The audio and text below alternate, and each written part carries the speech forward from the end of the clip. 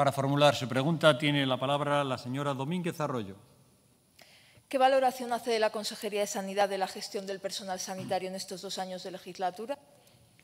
Gracias. Para contestar tiene la palabra el vicepresidente de la Junta de Castilla y León, el señor Igea Arisqueta. Bueno, la valoración es que en dos años muy difíciles, probablemente los dos años más difíciles eh, de la gestión sanitaria en nuestro país, el resultado, a la vista de los indicadores, ha sido razonablemente bueno. Y ha sido razonablemente bueno fundamentalmente por el impagable esfuerzo de nuestros profesionales. Gracias. Para un turno de réplica tiene la palabra la señora Domínguez Arroyo. Bueno, yo esperaba que me contestara la consejera de Sanidad, porque es una pregunta sanitaria, pero como usted es el consejero de todo, pues lógicamente puede contestar sobre todo, ya lo sabemos. En todo caso, a mí me sorprende ese nivel de autocomplacencia que va también con un nulo nivel de autocrítica.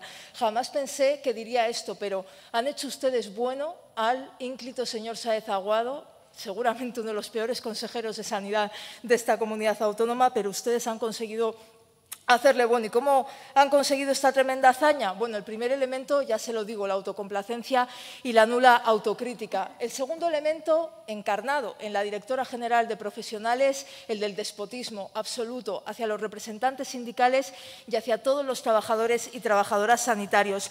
Llevan dos años en que la Consejería de Sanidad se ha convertido en el cortijo de ciudadanos donde ustedes deciden, donde ustedes ejecutan y donde no escuchan absolutamente nadie. Y el tercer elemento es el del desmantelamiento absoluto de la sanidad, con ese plan para el medio rural que les va a llevar a eliminar absolutamente todo, caiga quien caiga. Y los primeros que van a caer son los profesionales, junto, por supuesto, a los pacientes. En esa eliminación paulatina de la sanidad pública nos encontramos hoy en la eliminación de los derechos laborales del personal y en unas, en unas condiciones horribles para ellos. Y la pandemia, efectivamente, han sido dos años muy difíciles. La pandemia ha sido la excusa para todo, para tener a los MIR y a los EIR sobreexplotados y luego no darles contratos de estabilización. Ha sido la excusa para pedir eh, sobrehumanos esfuerzos al personal sanitario que luego no se han traducido ni en aumentos salariales, ni en mejores condiciones laborales, ni en estabilización del empleo. Ha sido la excusa para mantener consultorios locales cerrados durante todos estos meses e ir eliminando médicos por la puerta de atrás, porque sí se cierran consultorios y sí, se están eliminando médicos. Dejen de mentir aquí y a toda la ciudadanía de Castilla y León. Pero el colofón, el colofón de todo han sido los equipos de vacunación. Hemos sido una de las primeras comunidades autónomas en llegar al 70% de la vacunación de la población. Pero ¿saben en base a qué ha sido? A explotar de una manera sin ningún tipo de vergüenza al personal sanitario que estaba en los equipos de vacunación. Y esto la ciudadanía lo tiene que saber, se lo tenemos que contar, que los contratos que les, han hecho los equipos de vacunación son contratos de área, los más precarios, los más baratos y los que tienen peores condiciones laborales. el personal sanitario en mi provincia, de 140 horas que tenía que trabajar, ha estado trabajando entre 190 y 240 horas. En jornadas de explotación extenuantes por toda la provincia, donde un día les decían, oiga, usted mañana a Villarcayo y otro día a Lerma, y otro día al centro de salud donde tiene que cubrir una vacante, porque para eso sirven los contratos de área, para eliminar al personal sanitario y para sobreexplotar al personal sanitario. Y eso han hecho con los equipos de vacunación. Y hoy el 70% de la población de Castilla y León está vacunada en base a explotar a enfermeros y enfermeras de esta comunidad autónoma, y se tiene que saber. Gracias. Para un turno de dúplica tiene la palabra el vicepresidente de la Junta de Castilla y León, el señor Igea Arisqueta. Bien, bueno, pues sí, voy a, intentar hacer un poco de autocrítica. Y voy a empezar haciendo autocrítica, permítame, eh, de una manera generalizada. Mire, la política sanitaria española, y digo la española, y digo en todas las comunidades, y digo en todos los partidos, es una auténtica basura. Una auténtica basura. Y se lo voy a demostrar. Mire, le voy a decir cómo es la política española. El SAS elimina los consultorios rurales por falta de personal sanitario, Andalucía. Cantabria. Va a ser imposible mantener la red íntegra de consultorios en Cantabria. Cantabria mantiene cerrados la mitad de los consultorios.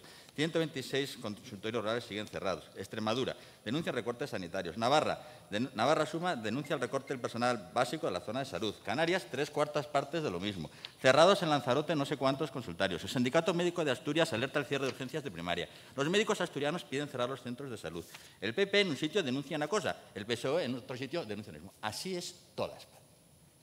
Así es la política sanitaria en toda España. Así somos nosotros. Así somos. Así hacemos política. Mintiendo a la gente. Explotando las situaciones de dificultad. Así estamos haciendo política. Nosotros procuramos hacer la política de una manera diferente. Procuramos reunirnos con los consejeros que tienen los mismos problemas. Procuramos no hacer demagogia.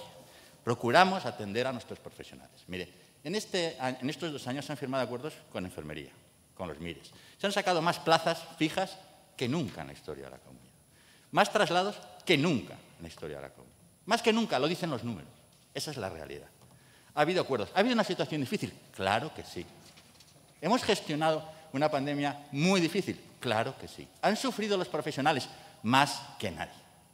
Se puede decir públicamente, como se ha dicho aquí y en nuestros consultorios, que a nosotros, que a nosotros no nos importa la vida de la gente, que lo ha dicho aquí hoy una, diputada. A nosotros, a mí que llevo 28 años de mi vida dedicado a esto, a esa señora que lleva 30 años de su vida dedicada a esto. Mire, voy a hacer un poquito más de autocrítica. Es una puñetera vergüenza, vergüenza nacional, cómo se hace la política sanitaria. Aquí, fuera de aquí y en toda España.